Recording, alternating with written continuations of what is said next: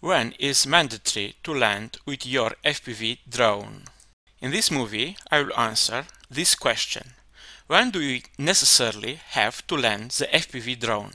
But why do you have to land? Simple, in order to not destroy the drone, like in this case.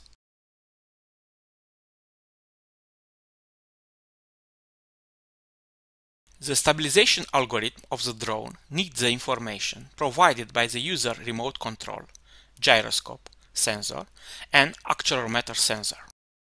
What is right to mention is the information given by the accelerometric sensor can be used or not.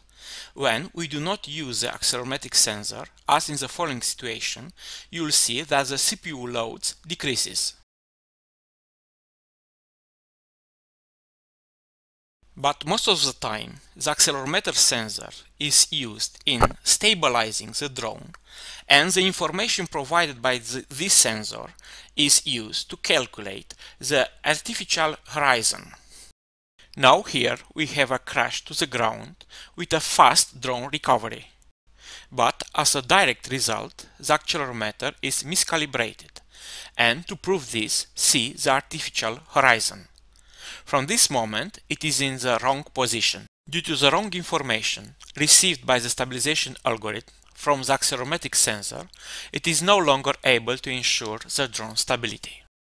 In conclusion, if we use the accelerometer sensor, we have to land the drone each time when the accelerometer is miscalibrated.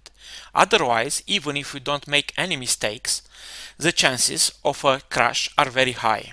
To solve this problem, place the quad on a flat surface and calibrate the accelerometer in Betaflight configurator.